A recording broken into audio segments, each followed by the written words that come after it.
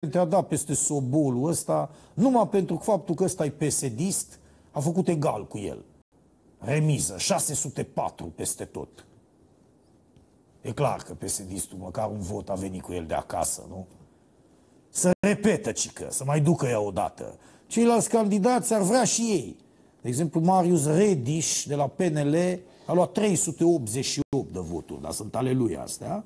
Nicolae Valentin Baniciu a luat 187, ăsta e de la Dan Voiculescu.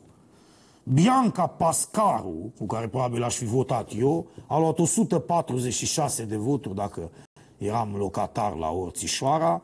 Și în fine, Ciprian Ioan Satea a luat 24 de voturi. Vă vedeți, bă, domnul Satea, dacă nu participați, voturile astea da, definitivau clar situația. Deși 24 o să-mi spuneți să împarte exact la 2. Puțin probabil 12 dintre voturile noastre să se fi dus la uh, Sobolu și 12 la Ivănescu. Vedeți? De asta nu-i bine întotdeauna să candideze chiar toate partidele astea să se facă de râs peste tot.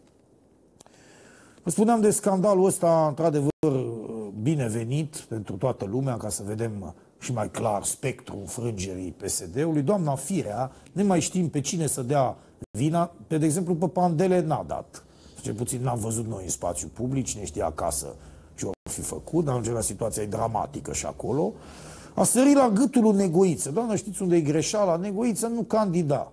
El era deja primar, bătut în cuie. Nu știu de ce urmăriți numai la antenă, doamna Firea. Știu că aveți rădăcinile acolo, că ați învățat meserie de la Dan Voiculescu. Păi, dar mai ascultați-ne și pe noi sau mai urmăriți-ne pe YouTube. Sau poate vă mai trimite cineva pe WhatsApp. Da? Când mai spunem câte un lucru important, câte o perlă. Păi noi am spus în direct. Da? Singuri suntem care am spus asta. Nu există sectorul 3. Este sectorul negoiță. Noastră veniți acum și spuneți că ați pierdut din cauza unuia, da? unui rahat ca Robert Negoiță. Păi cum să spuneți asta? Când omul ăla ați văzut, s-a debarasat de PSD-ul cum se spune la voi în partid, și tot a câștigat. N-are importanță din partea ce partid. El a fi candidat din partea partidului ăsta pe care l-a creat Victor Ponta. Da? Sau un partid ăsta creat acum, după ultima ploaie. N-are nicio importanță. A plouat acum trei zile în București pentru prima oară după șase luni. E atunci au făcut partidul. Nu contează negoiță, doamna Firea. Trebuia să vă legați de oricine altcineva. De gâdea. Dar de oricine, numai nu de ăsta. Cum să-l bas pe negoiță, tată?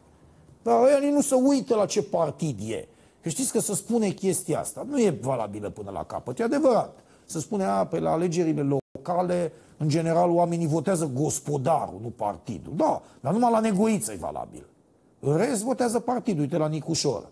Nicușor n-a câștigat în 2012, n-a câștigat în 2016, a câștigat în 2020 atunci când partidele astea s-au coalizat ca să-l propună pe el candidat de meserie.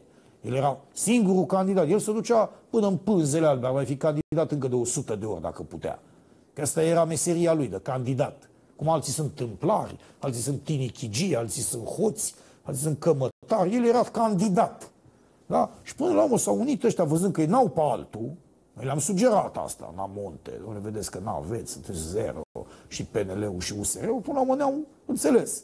Da? Și s-au aliat cu omul nostru, adică cu Nicușor, pe care ei nu-l votaseră niciun penelist. Nu l-a votat pe Nicușor în 2012. Eu l-am votat. Da? Nu-l știau. Da. Acum patru ani a făcut o figură frumoasă, atunci cu 30%, ne-am dat și nouă lacrimile, nu țineți minte, când l-am felicitat în direct, atunci o frângere nemeritată, să bătuse ca un leu Nicușor. Dar, dar între timp au venit vulturii ăștia de pe înălțimi, l-au văzut pe pricăjitul ăsta și au zis, hai bă, că te luăm noi sub aripa noastră. Păi și eu ce trebuie să fac, a întrebat Nicușor. Nimic, bă. Semnezi și tu niște hârtii. Și ce trebuie să mai fac? E nu mare lucru, mai stăm și noi de vorbă un pic. Da? Și probabil au convins liberalii cu vorbele alea. S-a băgat Nicușor la ei. Acum asta cu candidat independent susținut de PNL și USR e lung. E lung. Magică Popescu a dat un titlu de ăsta de ieșadă pe copertă. Dar ăla era analfabet. Nu, ăștia nu sunt analfabeți. Nu să spuneți că Ludovic Orban e analfabet, Doamne ferește. Și atunci o să-i taie chestia aia, candidat independent susținut de. Și nu mai rămâne decât PNL. USR, hai că nu mai încape. Deci este candidatul PNL. Da? Hai că o să vedeți că așa o să îi să spună. Cât de curând. Bun. E publicitate, ne întoarcem în direct. O doamnă de la Bacău, o eroină, medic, bineînțeles, șef de spital, avea 37 de mii de lei pe lună. Asta înseamnă că, așa sună modest, 370 de milioane de lei lunar câștiga și până la urmă a fost prinsă că ea pagă. În sensul în care, evident că banii nu-i ajungeau, poate nici să meargă la coafor. Deși, având în vedere că ea era la Iași, poate cine știe, acolo spre Ungheni, o fi coafor un pic mai ieftin. Dar, în urmă, se pare că s-a formulat o plângere împotriva ei, a fost plasată sub control judiciar de procurori, este inculpată pentru luare de mită și trafic de influență. Asta ca să nu mai spună cineva că medicii o fac din vocație. Mă intrigă un pic, deși e bine scris, ca de obicei, editorialul lui Dou Bușcu în uh, Cațavencii, dacă m-am uitat bine, da, așa este, trebuie totdeauna să verifici, stă apropo de școala pe care USR o propune în politica românească. PSD-ul și PNL-ul sunt partide la limita uh, etichetei de expirare, cu asta sunt de acord, dar ci că USR-ul ar aduce un sunge nou, da, o mentalitate nouă și că oamenii ăștia școliți pe la marile universități ale lumii ar putea teoretic să facă politică în România. Da, dacă n-ar fi să-l ascultăm totuși pe Mitică Dragomir. Iar el spunea oamenilor cu mai multă carte decât el că întâi totuși trebuie să ai școala vieții. Mă tem, dragă domnule Bușcu, de data asta că o să ne înșelăm amândoi. Da? Școala asta făcută cine știe pe unde, da? băncile școlilor ăstora făcute cine știe pe unde, nu vor fi, nu numai că nu vor fi suficiente, dar nu vor folosi la absolut nimic în mlaștina birocrației românești. Că despre birocrație și despre mlaștină nu scrieți nimic în editorial. E bine să știți că și alea contează. Păi nu mă interesează ce școli a făcut Clotilde Armand sau Ecol Normal Superior de câte ori a terminat-o Nicu Șordan. Că asta nu se va vedea când se scască câte o groapă sau vine un stol de uh, țânțari. Se va spune, nu de competența mea.